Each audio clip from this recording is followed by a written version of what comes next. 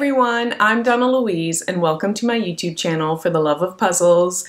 Today we are going to be playing around with one of these three rainbow gradient jigsaw puzzles. They're all from the same brand, Arrow Puzzles. They're from their colorful series. This one is the rainbow feathers, we have the ribbons, and the water drop. I'm going to be doing just one of them today. I randomly chose to do the feather one.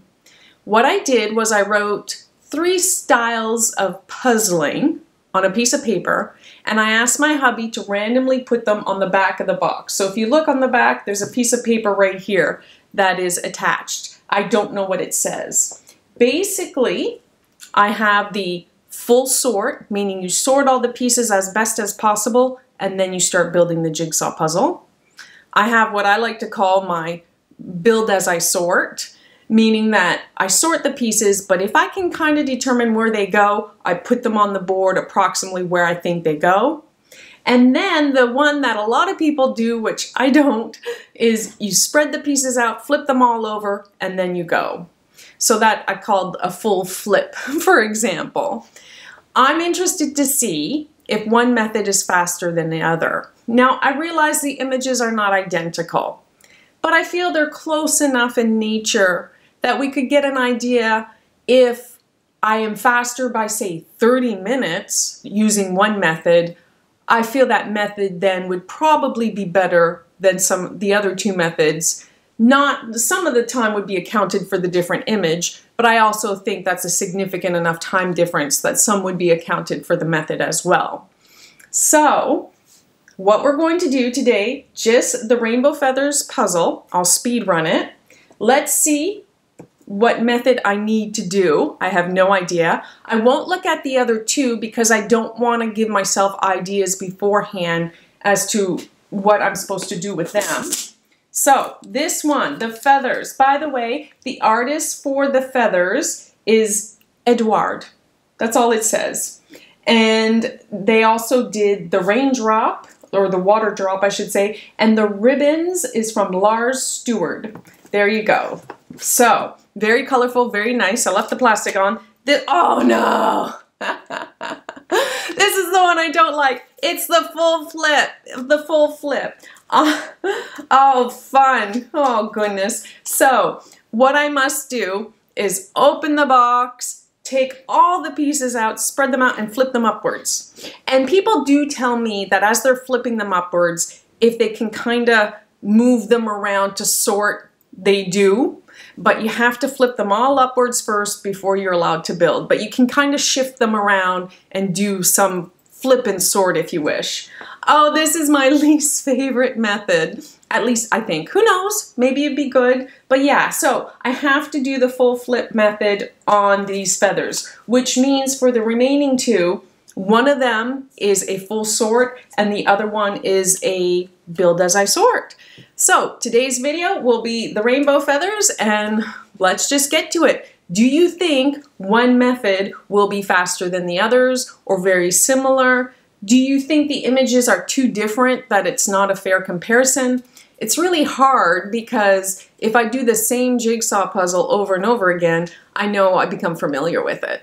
So yeah, leave your comments below. Now you may have noticed I got these different boards on my table and you see some pieces. They will appear in the background of some photos because it's just too hard to move.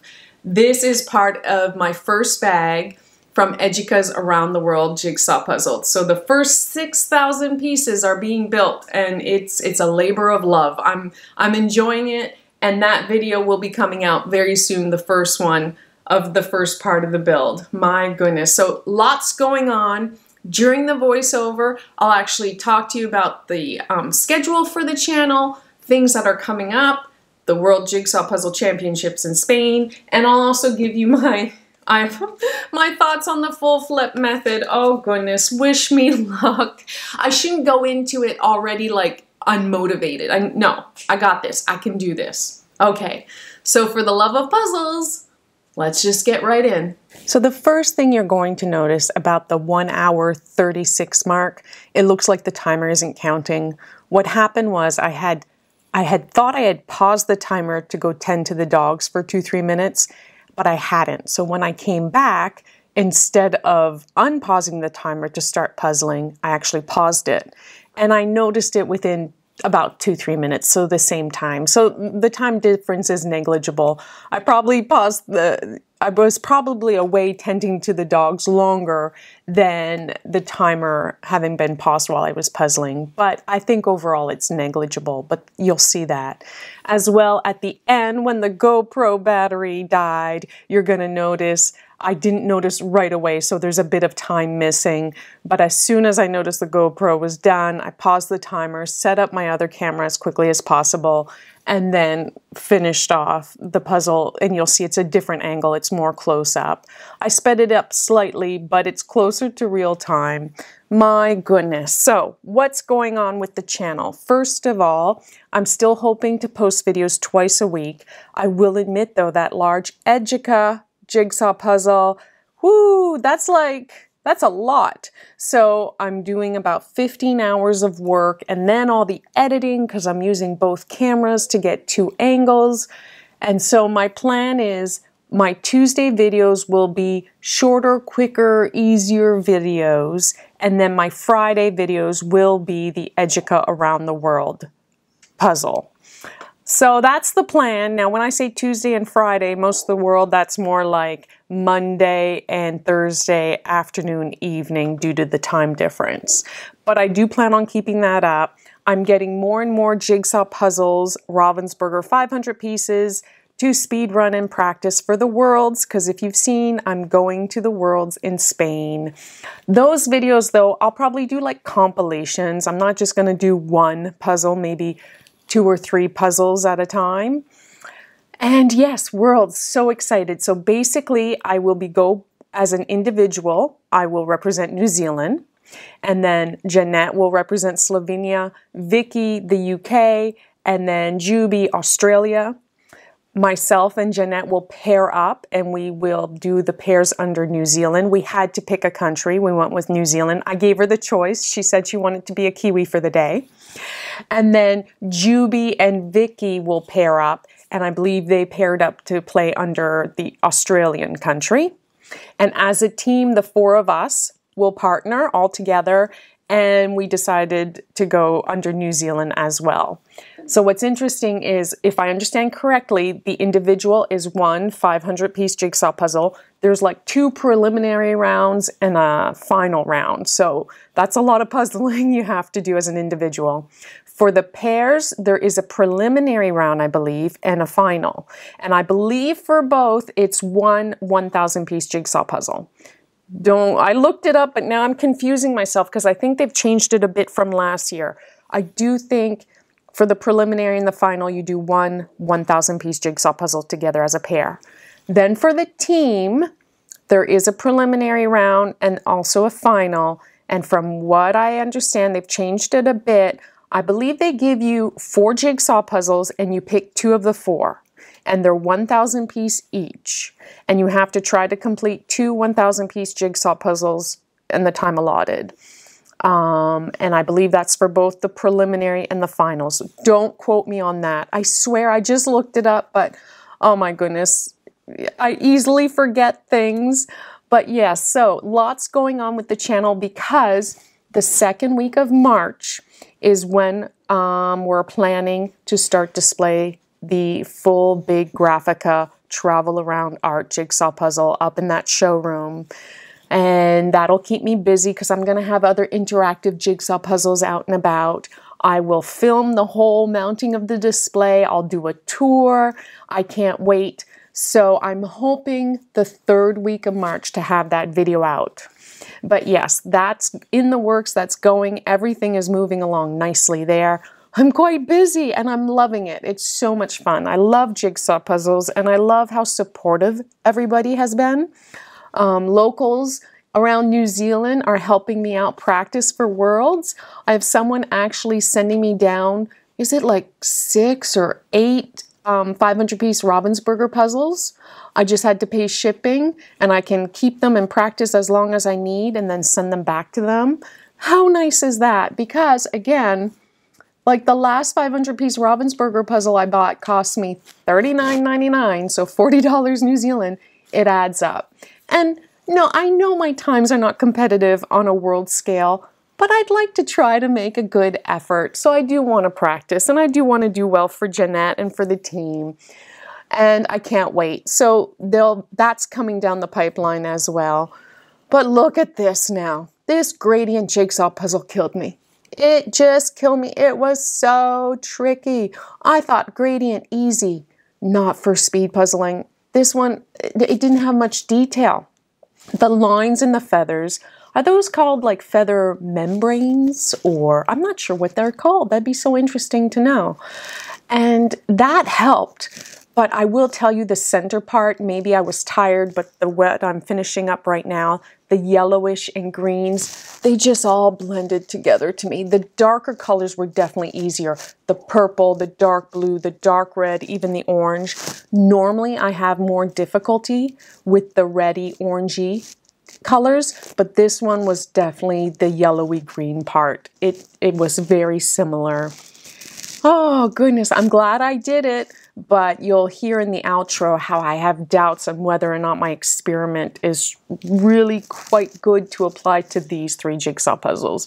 Perhaps I should have done a 500 piece and something with more images, um, not color gradients. But wow, oh goodness, this is probably my slowest speed run time.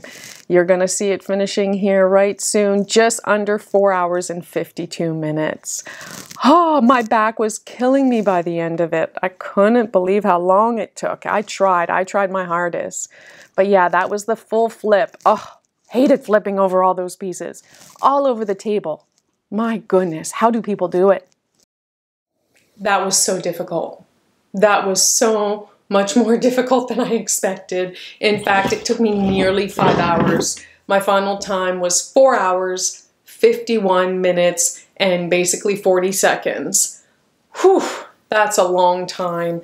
I don't know if color gradient puzzles are, are all that easy to speed run. I love doing them, but this was tricky because there's not that much detail in the jigsaw puzzle. There's the lines and the feathers, and I did my best, but I was getting tired at the end. The yellowy green part, oh, my eyes just lost it, just lost it. Flipping all those pieces, a thousand pieces is a lot. Maybe I should have tried to find 500 piece jigsaw puzzles with actual images on them, but these are the three that I had that were very similar. But spreading out a thousand pieces, no, I did not like that at all, but I know people that do it. So I'm just wondering if the other two puzzles are going to be just as difficult and take just as much time no matter what type of technique I would use just because they're color gradients and they're more difficult to speed run. Who knows? What do you think? Leave your comments below. Or do you think because I'm not used to the full flip method that I was slower, having to then go and try to find all the pieces on the table, whereas if I did a full sort, maybe that would be better, or build as I sort.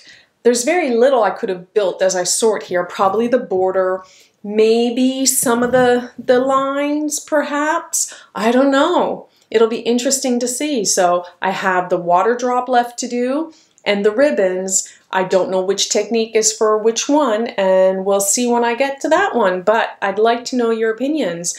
And in fact, I took so much time, my GoPro battery um, ended up running out of juice, so I had to switch cameras. I'm just glad that I noticed that and I didn't miss the last few pieces going in.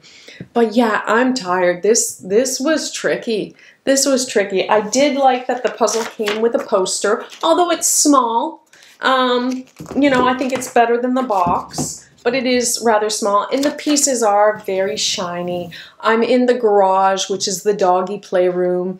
It does have okay light, but it just reflects a lot. So I stood up most of the time trying to look top down to have a better view of the jigsaw puzzle. That hurts your back, that tires you out. So I don't know if my experiment was appropriate to use on such puzzles, the color gradients, and thousand pieces. Perhaps I should try to do on three 500 piece puzzles, but these were the ones that I had on hand. So we'll keep going with it.